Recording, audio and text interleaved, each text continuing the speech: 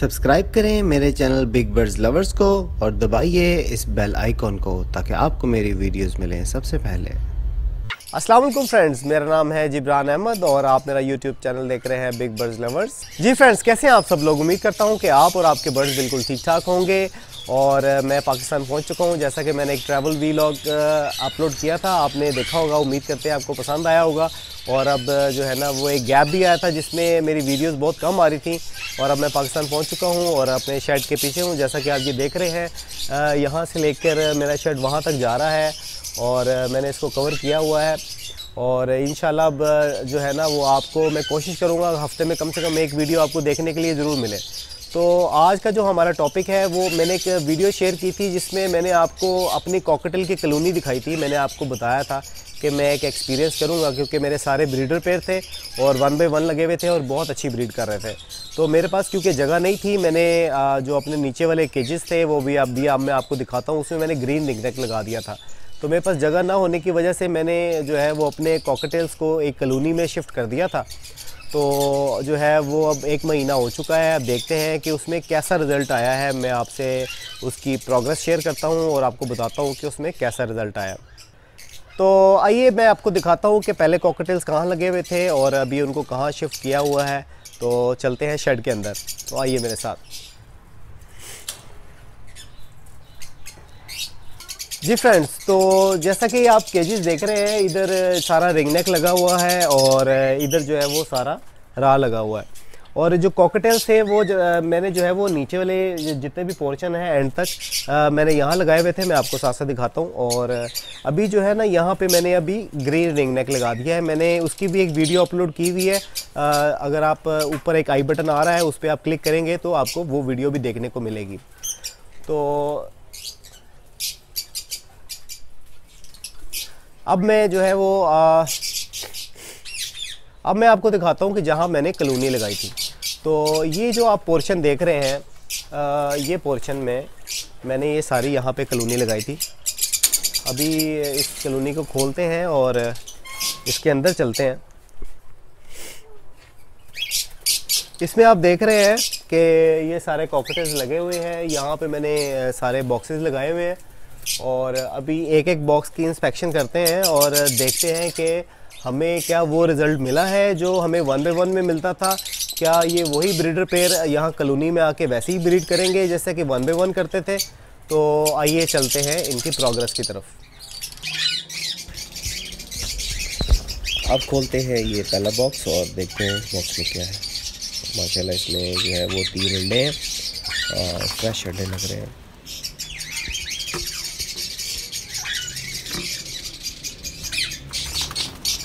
अब चलते हैं दूसरे बॉक्स की तरफ़ और इस बॉक्स में देखते हैं कि क्या है। और ये बॉक्स खाली है। अब चलते हैं तीसरे बॉक्स की तरफ़, देखते हैं कि इसमें क्या है। और ये जो आप देख रहे हैं, ये फेलो कॉकटेल की स्प्लिट फीमेल है और ये एग्स पे बैठी हुई है। देखते हैं इसके नीचे कितने एग्स हैं। इसको थोड़ा हटा के देखते हैं। और एक, दो, तीन, चार, पाँच, छः और एक मेरे ख्याल से अंडा इसके नीचे नीचे है। तीन, छः और सात अंडे इसने माशाल्लाह दिए हैं। इसकी प्रोग्रेस थोड़ी अच्छी है। और, अब चलते हैं नेक्स्ट बॉक्स बॉक्स की तरफ़।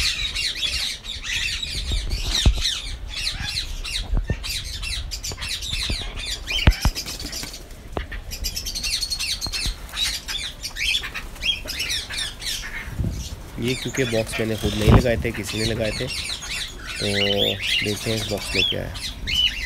माशाल्लाह माशाल्लाह जनाब, इसमें जो बूरा डालना भी पसंद नहीं किया उन्होंने, जिनसे मैंने बॉक्स लगवाए थे। और यही फ़र्क होता है कि जब आप खुद बॉक्स लगाते हैं, हर चीज़ आपको परफेक्ट होती है, आपको पता होता है कि इसमें क्या है।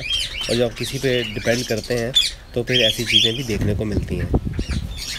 और अब ये बॉक्स लगे हैं, इनको चेक करना है, ये फैलो कॉकटेल्स आप देख रहे हैं। और अब चलते हैं नेक्स्ट बॉक्स की तरफ़।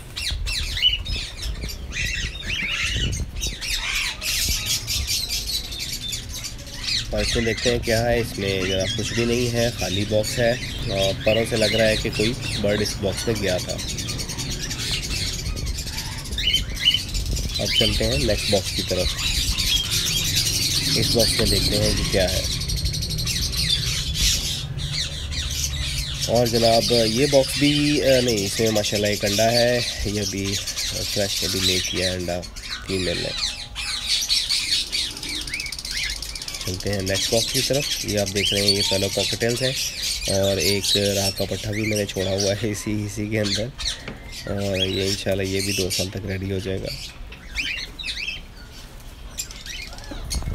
अब इसमें जो है ना, वो पता नहीं चलता कि कौन सा मेल किस फीमेल के साथ है।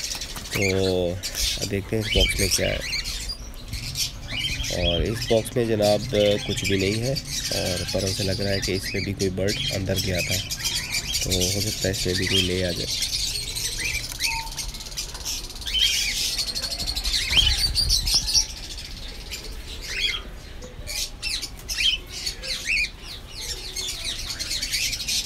अब जनाब, चलते हैं अगले बॉक्स की तरफ़।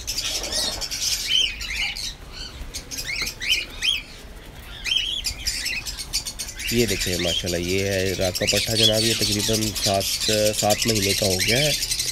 और इसको तैयार किया है, देखें क्या बनता है। और ये जो देख रहे हैं, ये कॉकटेल्स हैं इसमें कुछ इनो के पेयर्स हैं और बाकी फैनो कॉकटेल के हैं।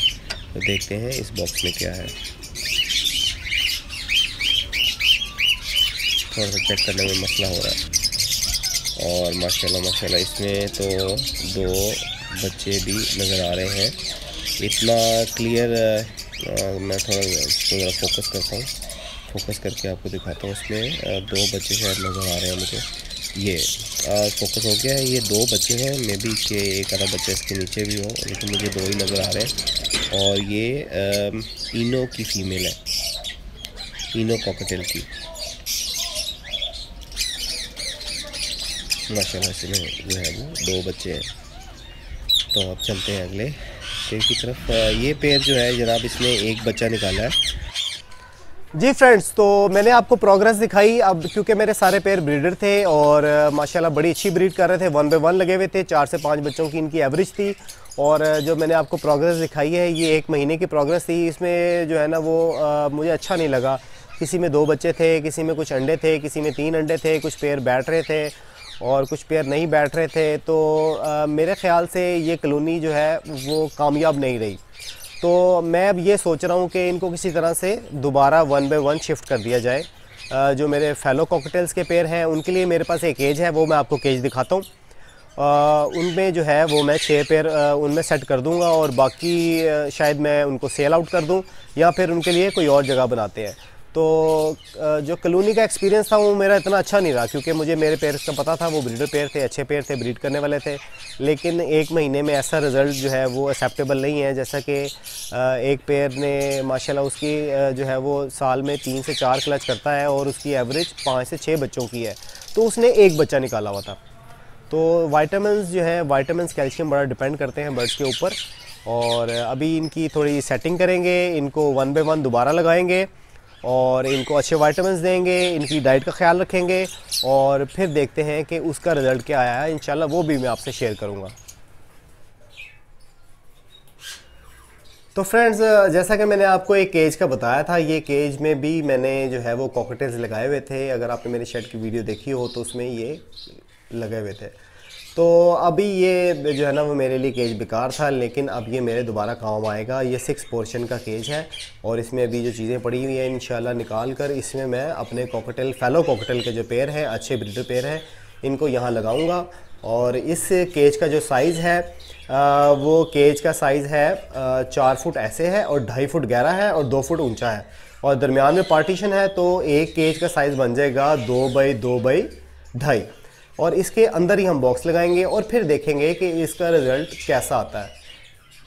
तो उम्मीद करते हैं आपको आज की वीडियो अच्छी लगी होगी। अगर मेरी वीडियो अच्छी लगी है तो लाइक करें शेयर करें और मेरे चैनल को सब्सक्राइब करना मत भूलिएगा। तो मिलते हैं नेक्स्ट वीडियो में लबड़ की प्रोग्रेस के साथ। तो मुझे इजाज़त दीजिए। अल्लाह हाफिज़।